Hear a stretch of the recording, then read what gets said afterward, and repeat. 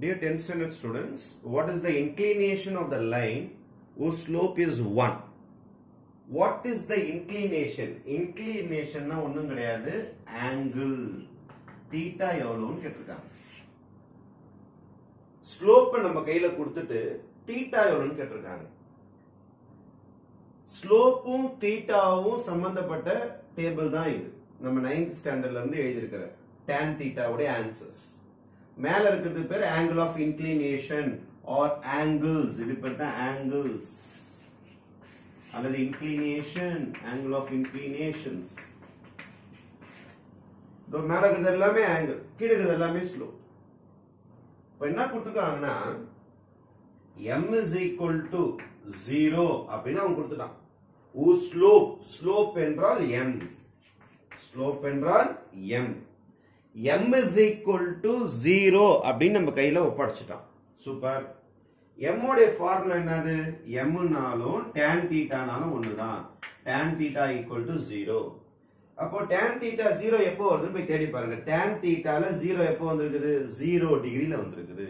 இப்போ தீட்டாவோட ஆன்சர் 0 கீழே இருந்து மேலே போகணும். அப்பதான் நம்ம ஆங்கிள் கண்டுபிடிக்க முடியும். கீழ மேலே பார்க்கணும். கீழ இருந்து மேல ஆங்கிள் தெரிஞ்சிடும். அப்போ ஸ்லோப்பு ஜீரோ ஸ்லோப்னா இதான் இதான் எம் இதான் டேன் தீட்டா இதான் ஸ்லோப் லைன் இதான் ஸ்லோப் உடைய லைன் அப்போ ஸ்லோப் வந்து ஜீரோனா மேலே பார்த்தீங்கன்னா ஆங்கிள் தெரிஞ்சிடும். அப்படியே மேல மேல பாத்துக்க வேண்டியதுதான்.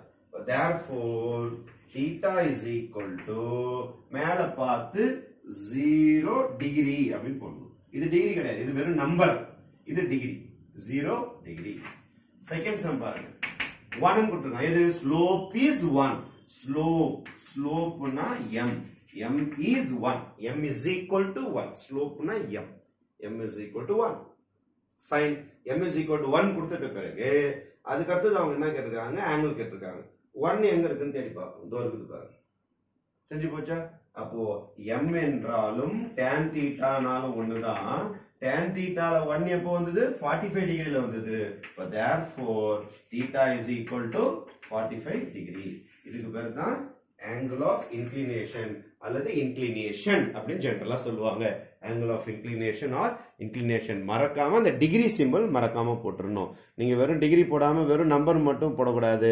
அப்போ டிகிரி அதுதான் முக்கியம் உங்களுக்கு. ஏன்னா ஆங்கிள் தான் அவங்க கேட்டிருக்காங்க.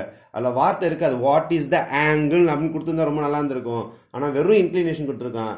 ஆங்கிளோடைய இன்னொரு நேம் ஆங்கிள் ஆஃப் இன்க்ளினேஷனை ஷார்ட்டாக இன்க்ளினேஷன் சொல்லுவாங்க. வேற ஒன்றும் பிரச்சனை கிடையாது. You to find the theta value okay thank you